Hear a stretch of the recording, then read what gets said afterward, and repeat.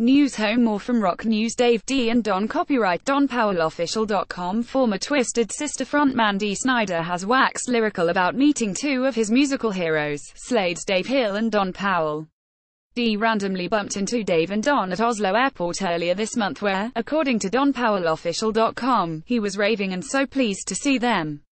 He also said what a massive Slade fan he was. After a Slade fan site shared the photo of the encounter, Dee tweeted on Tuesday, They say, you should never meet your heroes. I did, dot and I was not disappointed.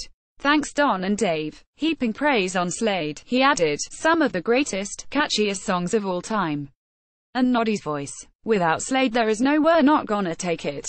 They say you should never meet your heroes. I did, dot and I was not disappointed. Thanks Don and Dave, https colon slash slash t.co slash ycun6mjc, Dee Snider at Dee Snider July the 24th, 2018 Some of the greatest, catchiest songs of all time.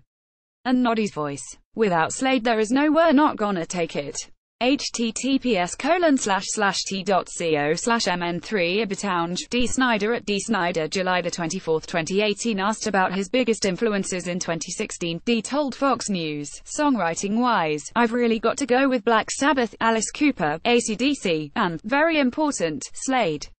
If not for the band Slade, there would be no We're Not Gonna Take It. He continued, It's little known, but they wrote Come On Feel the Noise and Mama We're All Crazy Now, those two Quiet Riot hits. They were a big inspiration. I mean, they inspired a lot of bands, bands like Kiss, Cheap Trick, Quiet Riot, and Twisted Sister. Without Slade, there wouldn't be those bands. Despite being one of the biggest bands of the 70s in the UK scoring 17 consecutive top 20 hits and 6 number 1 on the singles chart together with two number 1 albums, Slade failed to replicate this success stateside.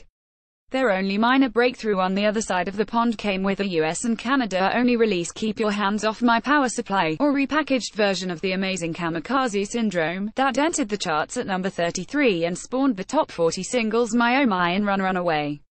The current incarnation of Slade features sole constant members Dave Hill guitars and Don Powell drums alongside vocalist, guitarist Mal McNulty and bassist John Berry. Meanwhile, Dee Snider releases his brand new solo album For the Love of Metal tomorrow Friday the 27th of July.